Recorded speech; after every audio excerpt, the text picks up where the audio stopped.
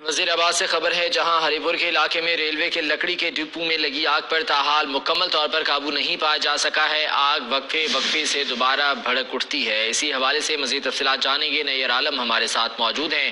نیر عالم بتائے گا، اس وقت صورتحال کیا ہے؟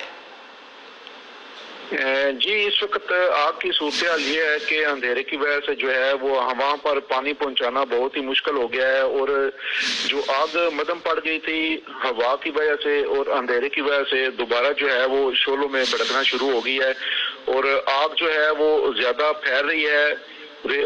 ریسکیو ذرائع کا کہنا ہے کہ یہ آگ جو ہے تقریباً ابھی بھی پانچ سے چھ گھنٹے لگ سکتے ہیں۔ آگ پر قابو پانے کے لیے۔